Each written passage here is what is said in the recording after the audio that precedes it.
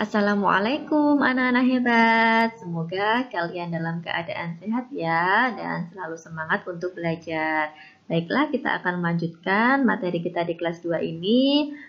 Sekarang kita akan belajar subtema 3 dan 4 muatan bahasa Indonesia tentang makna kosakata berdasarkan keragaman benda.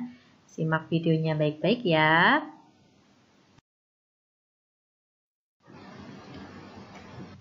Pertama, kita akan mempelajari dulu apa itu makna kata.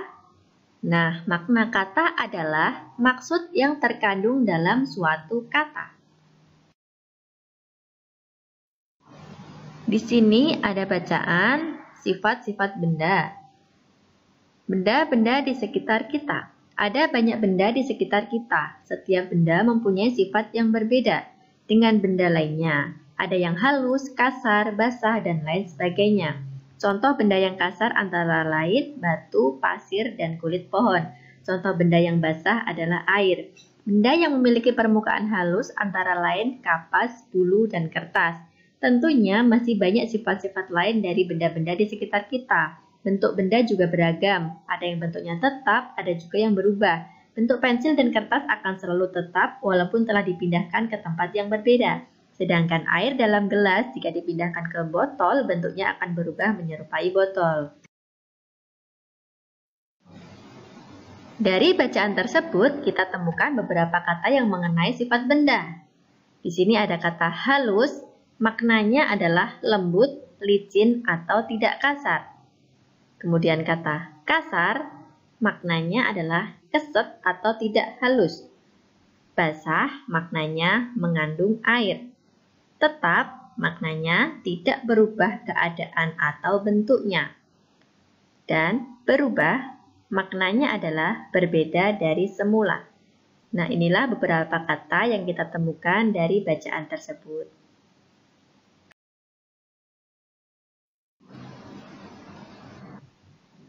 Selanjutnya di halaman 45 ada bacaan lagi tentang wujud benda. Dilihat dari wujudnya, benda dapat dibedakan menjadi tiga. Ada benda padat, benda cair, dan benda gas. Benda padat adalah benda yang memiliki bentuk dan ukuran yang tetap. Contohnya, kelereng, batu, dan pensil. Benda cair adalah benda yang memiliki ukuran yang tetap, tetapi bentuknya berubah-ubah sesuai dengan tempat dan wadahnya. Contohnya, sirup dalam botol, teh dalam gelas, dan air minum dalam cangkir. Sedangkan benda gas adalah benda yang memiliki ukuran dan bentuk yang selalu berubah-ubah sesuai dengan tempat atau wadahnya. Contohnya udara dalam balon, ban sepeda, dan kantong plastik yang ditiup.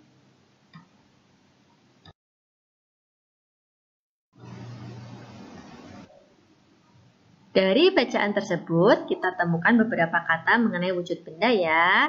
Di sini ada lima kata. Yang pertama, wujud. Maknanya rupa atau bentuk yang dapat diraba.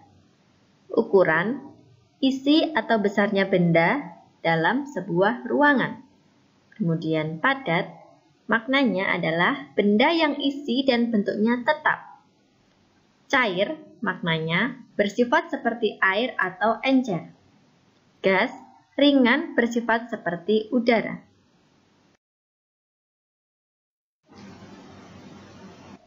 Kemudian di halaman 73, benda cair. Masih ingatkah kamu apakah benda cair itu? Apa saja benda cair yang ada di rumahmu? Benda cair berbeda dengan benda padat. Bentuk benda cair menyerupai bentuk wadahnya. Jika air teh dipindahkan ke kaleng, bentuknya menyerupai kaleng. Walaupun telah dipindahkan, jumlah benda cair akan selalu tetap.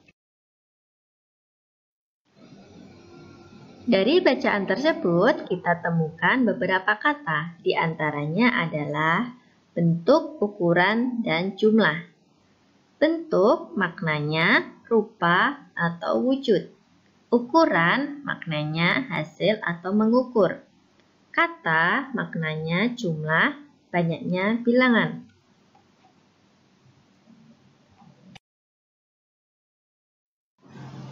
Selanjutnya di halaman 160 ada bacaan tentang sepak bola. Benny gemar bermain sepak bola. Satu tim sepak bola terdiri atas 11 orang, pemain inti dan beberapa pemain cadangan. Sepak bola bertujuan untuk mencetak gol, sebanyak-banyaknya dengan menendang bola ke gawang lawan. Sepak bola dimainkan di lapangan rumput yang berbentuk persegi panjang. Hanya penjaga gawang saja yang berhak menyentuh bola dengan tangan di dalam daerah gawangnya. Sepuluh pemain lainnya diizinkan menggunakan seluruh tubuhnya selain tangan. Tim yang mencetak gol paling banyak pada akhir pertandingan adalah pemenangnya. Jika hingga waktu berakhir skornya masih imbang, dapat dilakukan undian, perpanjangan waktu, atau adu penalti. Wasit menggunakan peluit untuk memulai permainan, pelanggaran, dan akhir permainan. Dari bacaan tadi kita juga temukan ya ada beberapa kata, di antaranya ada kata tim, inti, gol, gawang, dan penalti. Tim maknanya kelompok, Inti maknanya pusat atau paling utama. Goal maknanya masuknya bola ke gawang. Gawang maknanya sebuah rintangan yang dibuat oleh manusia maupun alamiah. Dalam sepak bola, gawang adalah tempat untuk membuat atau mencetak gol. Kemudian kata penalti maknanya adalah cara menendang bola dalam sepak bola yang dilakukan dari sebuah titik berjarak 11 meter dari gawang.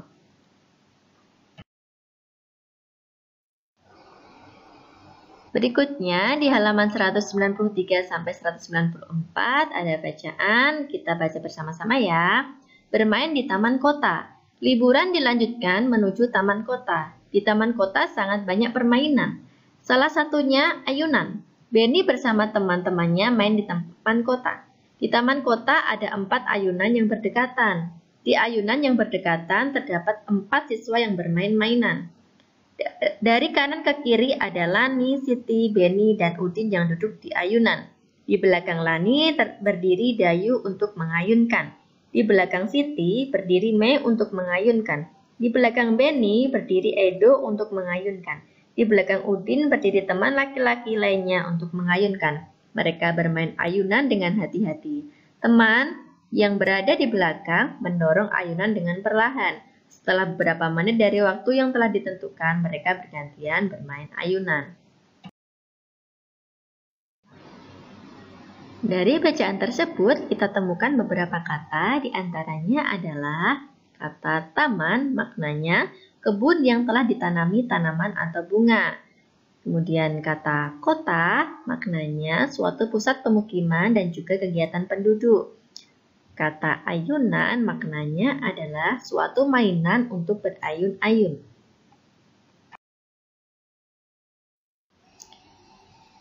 Alhamdulillahirrahmanirrahim. Materi kita tentang makna kosakata berdasarkan keragaman benda sudah selesai ya. Anak-anak bisa berlatih dengan mengerjakan tugas yang sudah diberikan. Semoga materi yang sudah Ustazah sampaikan dapat bermanfaat. Terima kasih ya anak-anak hebat. Wassalamualaikum warahmatullahi wabarakatuh.